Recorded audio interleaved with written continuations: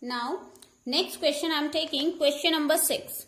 Okay, this is a machine on an average manufactures 2825 screws a day.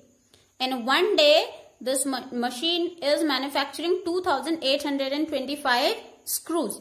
So, how many screws did it produce in the month of January 2006? Okay, first of all, I am asking Suppose in my class there are 30 students. Okay. Suppose in my class there are 30 students and I am giving 2 pencil to each student. I have to give 2 pencil to each student. So how many pencil I'll purchase? Can you tell? 2 pencil I am giving to each student. Each student means every student is getting 2 2 pencils. And in my class there are 30 students. So how I come to know that how many pencils I have to purchase?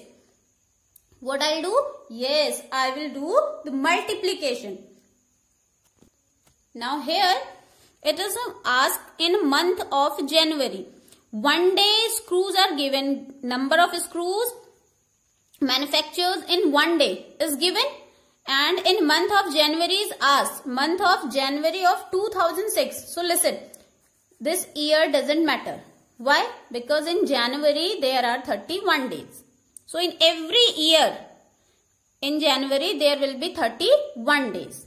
So number of screws manufactured in one day is 2825.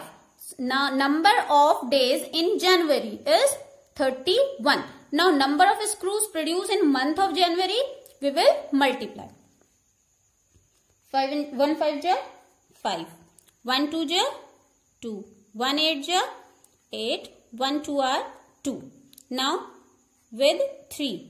3 5s are 15. 1 carry.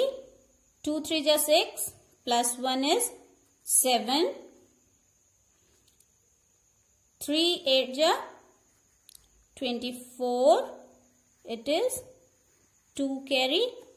And 3 2 are 6, 7 and 8. It is 5, 7, it is 15. Again 1 carry here. Here 7 and this is 8. So this is 87,575 screws.